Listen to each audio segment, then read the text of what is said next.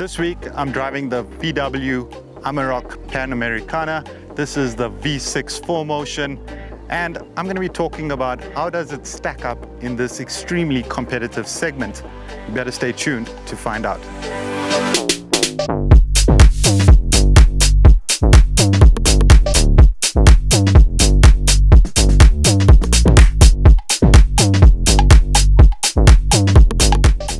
Welcome back to the Auto Advisor channel. My name is Murali and this is the V6 Panamericana.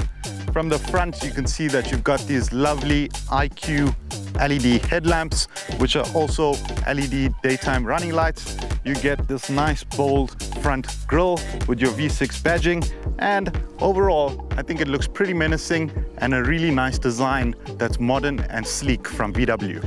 So under the bonnet is that 3 litre V6 turbo diesel engine and it's mated to a 10-speed silky smooth automatic transmission.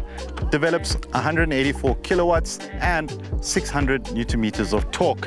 This vehicle also has 4Motion, which means it is all-wheel drive and more than adequate on the road, especially in those rainy conditions.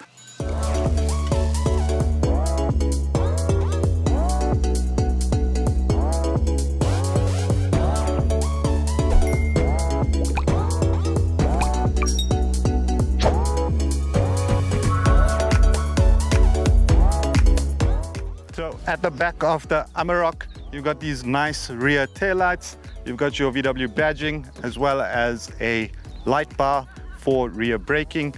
You get your V6 badging and you get a tow hitch with 3,500 kgs of towing capacity. Once you open the tailgate, you'll notice that it is pretty comfortable in here, a lot of space. You get a 12 volt socket as well as two lights which are controllable from your driver's seat. One of the things that I need to mention is that you absolutely have to install the retractable bin liner and not only for safety purposes if you're traveling on the road, I think it's just a great addition to the vehicle and adds a bit more versatility when you're traveling those long distances. So at the back of the Amarok, there is more than sufficient headroom and there is a bit of leg room. Driver's seat is in my driving position, so it's pretty comfortable and the seats do feel quite nice with this leather as well. You get these two pockets at the top, which I assume is for maybe a phone or maybe some little little nitty gritty stuff that you leave around the vehicle. You also get two pockets at the bottom, some aircon vents and you get a 12 volt socket and you've got 230 volt charge point. You get two cup holders in your door and you get two cup holders in your center armrest. You also get ISOFIX in the rear seats for the kids and rear windows are electrically operated.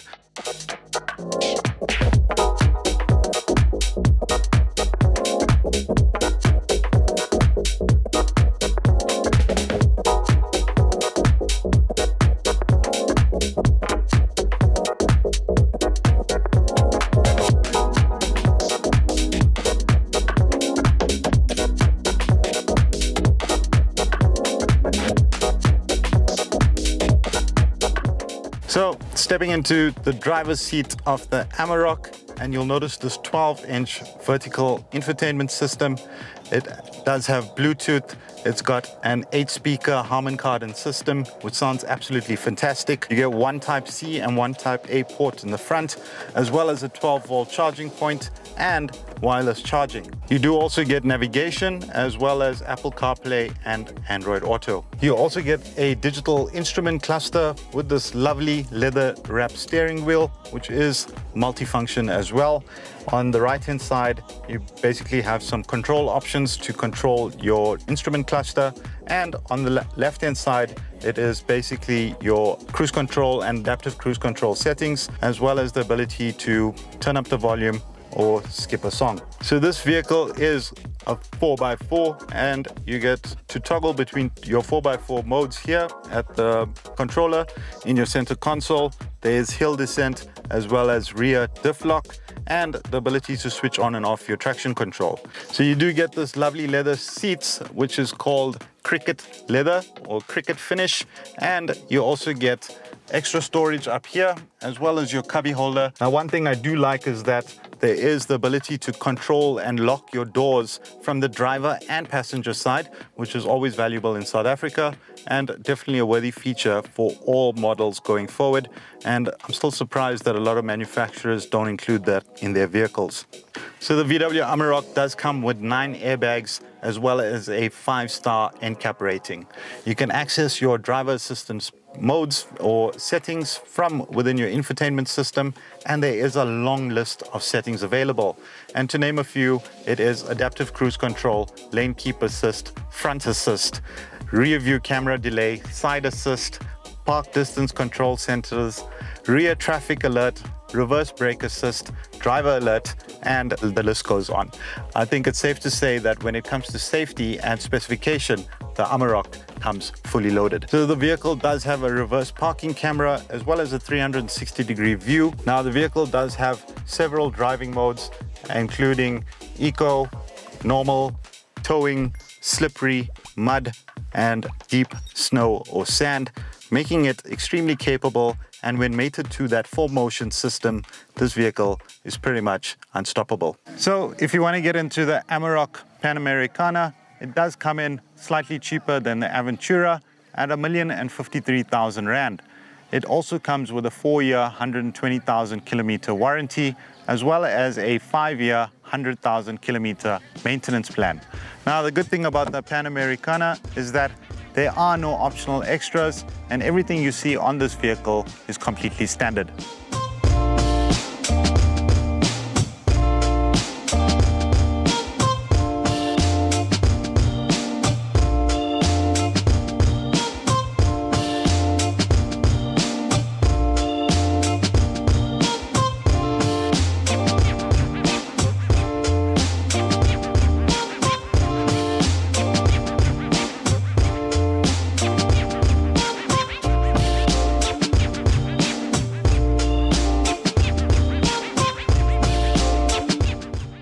So driving the Amarok is absolutely a pleasure. It is so refined, really doesn't feel like a bakkie. I'd say more like an SUV. And you know, I think the, the level of refinement is quite mind-blowing. Whether you're on the tar or off-road, still just absorbs, you know, all of those bumps effortlessly. And it's just a real pleasure to drive. The infotainment system is quite nice as well. And uh, I just don't like that the climate control menu is within the infotainment system. You know, when you're driving, sometimes it can be a bit distracting. But other than that, you know, you're not really complaining about it. And certainly, I'm sure you'd get used to it over some time. The leather seats are quite nice, very comfortable, and uh, you know, easy on uh, easy on your back, and just easy for the drive as well. I think the rear seats are a bit tight, and uh, certainly not as spacious as you know uh, the P series, which feels a bit bigger in the rear. But I think all in all, you know, this package is just it's impressive. Uh, I'll tell you that much. And uh, you know, VW knows it, and uh, that's why it is one of the more expensive bakkies in the market.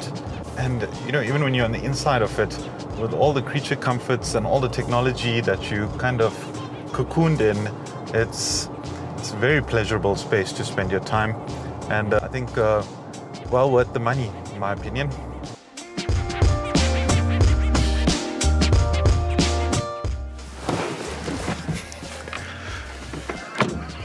So, the Amarok Panamericana is quite an expensive vehicle and it competes in a highly competitive segment.